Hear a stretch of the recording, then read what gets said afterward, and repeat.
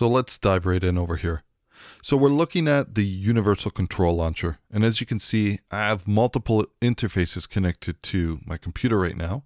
So we have two different options showing up here. I've got a Studio 192 and I've got the Quantum. Now it's worth mentioning that depending on which interface you select here, so for example, let's choose the Quantum over here, we have a different GUI of Universal Control.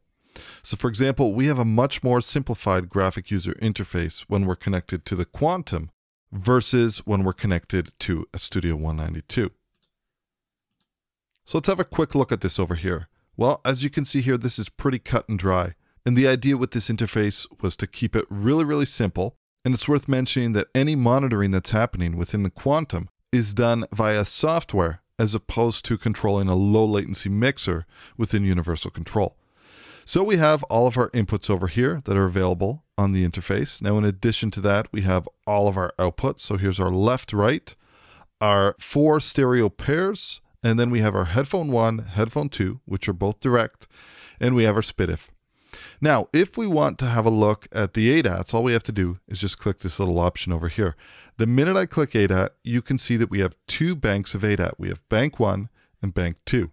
Now, it's worth mentioning that I currently have this quantum system hooked up to a DP88, meaning that because I have the input and output of my DP88 hooked up to the bank one of the ADATs on the quantum, I have full control, and this is bidirectional, meaning that anything I do on the software will follow the hardware. And in addition to that, if I make any adjustments on the hardware itself, so for example, let's adjust the preamp gain of channel 2, you'll see that that also follows on the software. Very handy. And it's also worth mentioning that once we open up Studio One, that we have a further level of control using the audio device controls. But we'll have a look at that in a minute. Now, aside from that, we also have this real-time analysis option over here. So if we click this tab over here, we get this graphical user interface. And depending on which channel you have selected, whether it's an input or an output, we'll have a real-time analysis of the audio that's passing through. So for example, let's go ahead here and we'll open up Studio One. And I'm just going to engage playback on one of these loops over here. Now let's hop into our universal control. You can see that we have access to all this information here. Now I can change things such as the height, the range, the hold, and the average. And in addition to that, we can also choose different modes. So for example, here would be K20, here would be K12. And the latest edition, we have an EBU R128 mode, which as you can see, will give us lots of information in terms of the loudness levels. And we can choose between loudness units relative to full scale. You can see we have a LUFS measurements happening here now. I have the integrated level, our short term, our momentary, and in addition to that, we also have true peak. And of course, I can reset this as well. So that particular aspect of universal control makes it very easy to monitor what is either coming in or out of the quantum. So very, very useful, very practical. Let's go ahead and close this off. Now we'll have a look at this section over here. Like I said, pretty simple. We have the ability to dial up the gain and engage phantom power either through universal control, Studio One device controls, or also through the hardware itself. So for example, let's just move to preamp channel 3, and I can move this up or down. Now, with respect to the front two inputs, we have three different options on the Quantum. Whereas traditional interfaces will often offer a mic or instrument input, with the Quantum, by selecting this button over here, which I can depress simply by clicking over here, we actually have three different options. So for example, I can use this as a microphone preamp.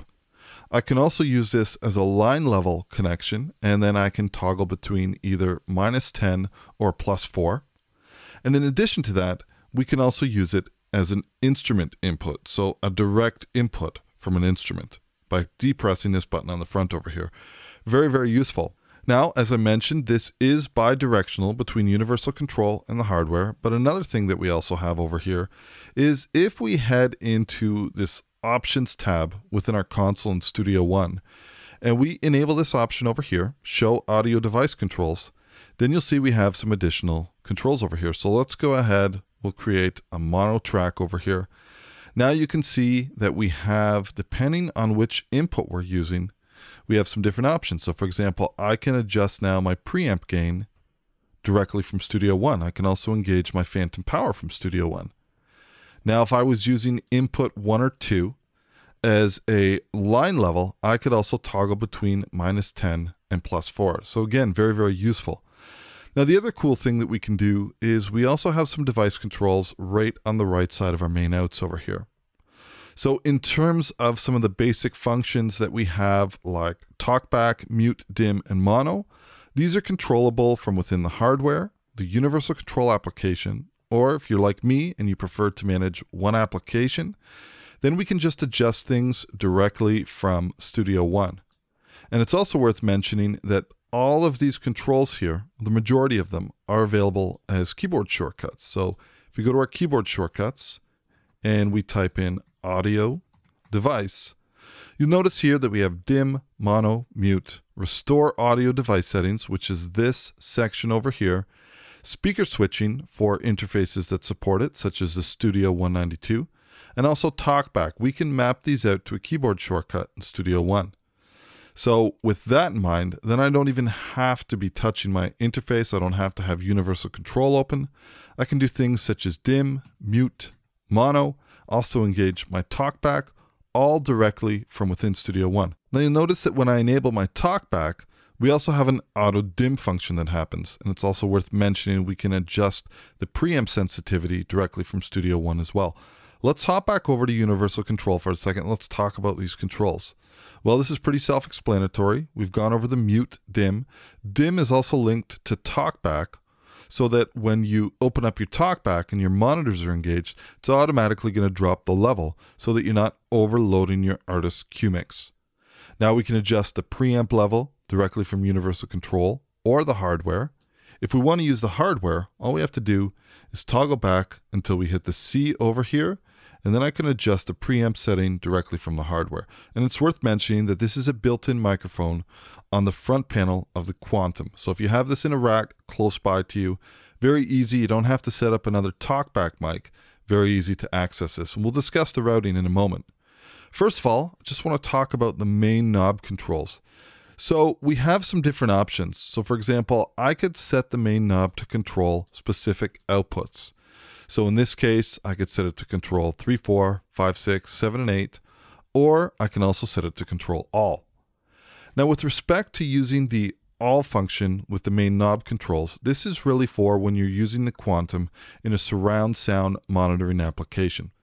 So any software that supports surround and anytime you're using the Quantum in that capacity, we simply can enable this option and this will allow us to control the level of all of our speakers with the main knob. So very useful if you're using surround. Now, currently, I only have a set of speakers hooked up to my main out, so I'm just going to deselect this.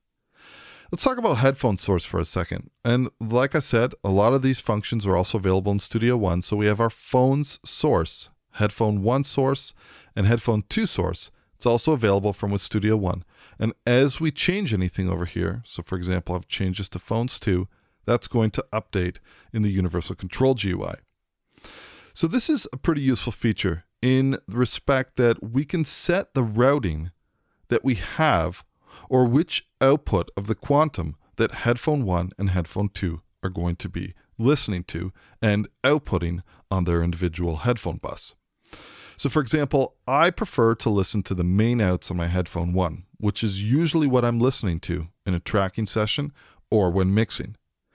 Now by default, I could set these both to be main outs, but if I'm working with an artist that required a QMix, very easy for me to hop into Studio One over here, open my I.O. setup, go to my outputs, enable Headphone 2 Direct as a QMix output, click Apply, OK, and now I can adjust the QMix levels independently from the actual levels that are coming off of the main console. Then all I would have to do is come into my headphone 2 source and set this to phones 2.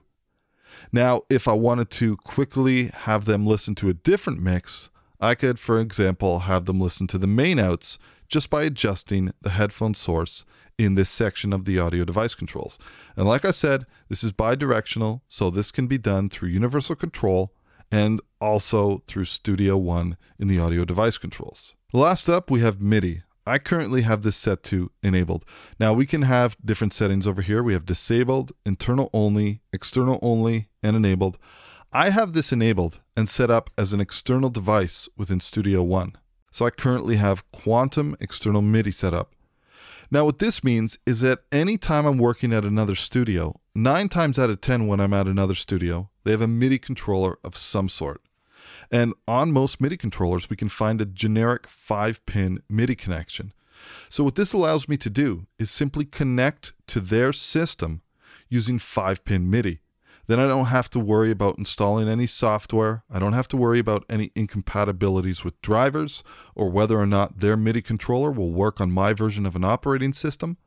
I can simply use the Quantum's external MIDI to connect to any external MIDI device controller and then I'm just using a generic MIDI device. So essentially, I can be ready to go and record MIDI very simply with the Quantum. Very cool feature, also very useful. Now let's talk about the TalkBack microphone for a second. So like I mentioned, we have a built-in TalkBack microphone. As you'll notice over here, on channel 27, in terms of what the driver is reporting to us, and we're going to have a look at the I.O. setup in a little bit detail a little bit later on we've got the talkback, and this is where the talkback is happening. So in order to add this, let's go ahead and add a mono channel, and let's map this out to the talkback mic over here. And in fact, let's also rename this talk back. Now I can go ahead, and click apply, and okay. Now if I went ahead here and added a new mono track, I can set its source to talkback and I can use my shortcuts in Studio One to engage TalkBack on this track. So for example, let's monitor enable our TalkBack channel, and I'm just going to use the keyboard shortcut T, which I've programmed to TalkBack to open up the TalkBack mic. So now we have TalkBack, and this is a TalkBack mic, and this is happening in the same room. Go ahead and close this off now. Now the great thing about this is if you're using Q mixes and I'm sending out a discrete mix, I could, for example, say, all right, I don't want to hear the talkback at all in the mains. So let's go ahead. We're going to turn this down. And then I can just unlock this and I can set a discrete or independent level that's going out to my headphones two, which is going out to my artist that's sitting in an isolation booth. So now when I hit the talkback, the talkback is going out to the headphones two, but it's not coming out to main mix. So very easy for me now to just use a talkback, and this won't be coming through the mains, it's just going out to my artist.